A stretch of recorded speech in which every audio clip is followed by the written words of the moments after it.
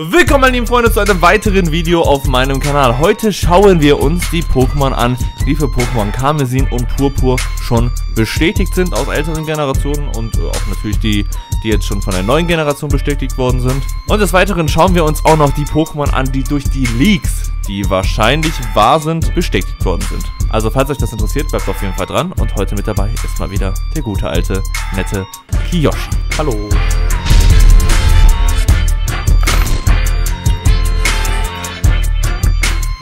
So, als erstes haben wir die Pokémon aus der neuen Region. Zum Beispiel die Starter Felori, Krokel und Quox. Äh, wie findest du die eigentlich? Ich glaube, wir haben da noch gar nicht so richtig zu gesagt. Ich glaube nicht, also Quox ist mein Liebling. Direkt als ich es gesehen habe, weil ich liebe ja Enten, wusste ich mein Pokémon. äh, ja, Krokel fand ich auch ganz cool, aber der sah mir ich weiß nicht, der sah ein bisschen derpy aus und Filori war ich gar kein Fan von, aber viele Leute meinten hier, oh mein Gott, so süß, so nice, Katze. Ja, ich finde Krokel und Quarks auch am besten, aber nice. Filori soll ja so eine, so eine God-Tier-Ability haben, deswegen bin ich da mal gespannt. Ja, dann wurden in ja. den letzten Trailern noch Pamo, Ferkuli und Olini äh, ja, announced und dann noch die legendären Pokémon Koraidon und Miraidon und das war's dann auch schon. Wir haben bisher einfach nur acht Pokémon aus der Region. Das, äh, ja. Nicht so viel, aber okay. Ist ja noch ein bisschen Zeit, bis es äh, genau. zum Release kommt. Und im nächsten Trailer werden wir bestimmt wieder ein paar neue sehen, von daher. Ja, ich hoffe es auf jeden Fall, weil ich will auch mal ein paar Weiterentwicklungen sehen. Ne? Ich will mal gucken, wie da die Weiterentwicklungen aussehen, weil ich, ich, ich habe immer dieses Trauma auch mit der Gen 2, weil da finde ich, sind die Weiterentwicklungen der Pokémon auch überlangweilig irgendwie meistens. Also vor allem bei den Startern. Ich finde, startermäßig hat die zweite Gen so die langweiligsten Entwicklungen von den Startern her.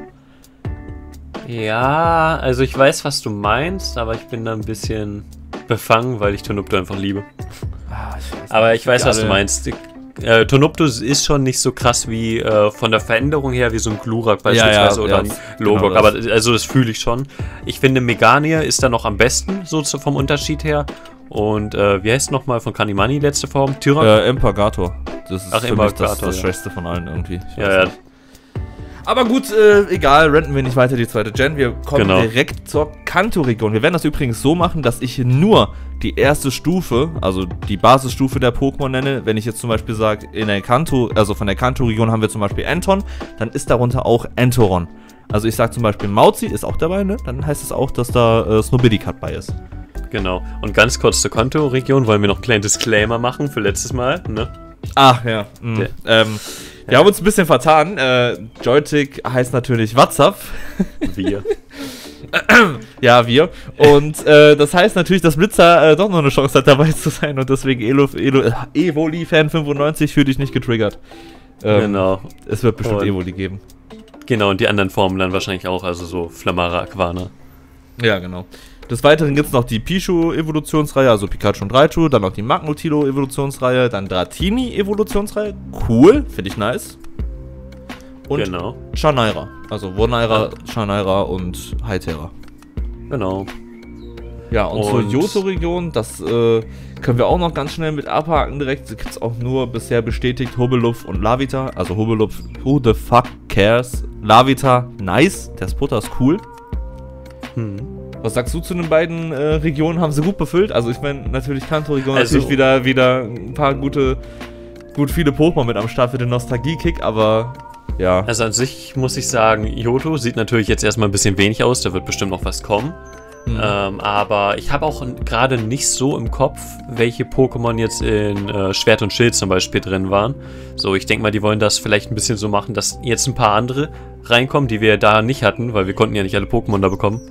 Du meinst, dass Von die Switch daher. auf jeden Fall gut befüllt werden soll mit den meisten. Ja, Pokémon. dass man genauso fast alle von allen Spielen auf der mhm. Switch haben kann. Vielleicht nicht in einer Edition, aber allgemein.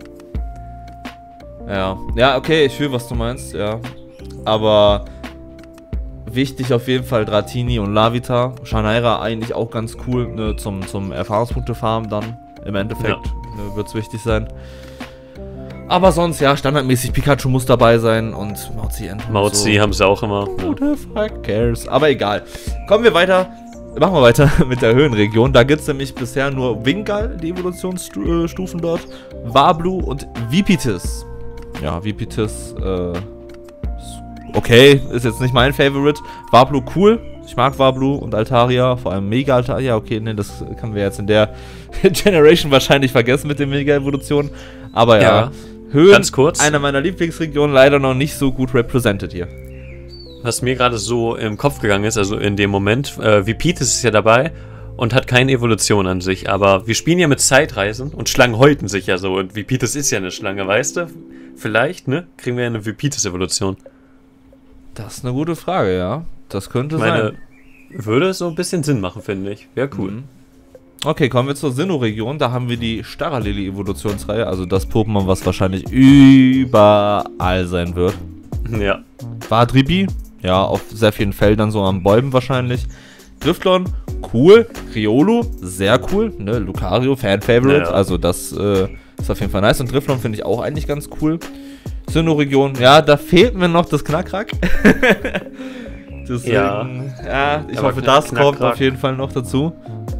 Ja, ich glaube, das kommt auch. Und ich denke mal, Driftlon und so haben sie wahrscheinlich auch reingemacht wegen Legend Arceus, ne? Dass du es so rüber transferieren kannst. Ja, aber okay, die haben ja jetzt aber trotzdem nicht sehr viel von Sinnoh hier. Ja. Da ist ja eine Menge ja, in Arceus noch. Naja, das äh, ist auch noch ein bisschen mager. Dann aber eine der magersten Regionen, die Einheitregion. da gibt es die Lilip-Evolutionsreihe. Ähm, ja, weiß nicht. Das, da gibt es eigentlich, ich finde, Schwarz und Weiß hat echt viele coole Pokémon am Start. Wenn ich so ja, auf jeden an, Fall. Äh, äh, an Kiesling, die Evolutionsreihe, denke, oder an den Maulwurf, Rotomorph. Schade, dass ja, sich da hier. einfach nur Lilip rein verirrt hat, aber naja. Äh, wie heißt nochmal dieser rote Dino? Rocky, heißt der nicht irgendwie so ähnlich? Rocky irgendwas? Rockheimann. Ja, genau. Ja. Oder? Ja, ja. Der, der, der ist, auch cool. cool. Der Unlichtgestein. Ja, genau, genau, ja, genau. Der Dino. Ja, okay. Also da noch sehr mager. Da muss auf jeden Fall noch ein bisschen kommen, finde ich, weil. Ich hoffe auf jeden Fall noch auf den Ramot, weil ich liebe Ramot. Oh ja, das wäre auch geil. Also Ramot auch ein sehr, sehr starkes Pokémon. Ja. ja. Kommen wir zur Kardos-Region. Da wurde jetzt bisher nur Scampisto die Evolutionsreihe von angekündigt und äh, Flabebe. Flabebe. Flabebe. Aber ja, auch nicht die besten Pokémon von Carlos, aber naja. Ja. Alola, dann haben wir da Flor Berl und die weiteren Entwicklungs-Pokémon davon. Und also Gala. sehr leer. Ja, und Gala nur Humanol, hum, Humanolit, dieses, dieses Steinding ist das, glaube ich. Ja, genau, dieses Steinding ist das. Sehr, sehr weirder Name auf jeden Fall. Also die drei Regionen, also die letzten vier Regionen hat es echt hart getroffen bisher. Da wird hoffentlich noch was dazukommen, wobei Gala ich finde den, den, ähm, den Unlichtgnom, den finde ich cool. Aber ich habe nicht so viele Favorite-Pokémon von Gala, muss ich ehrlich sagen.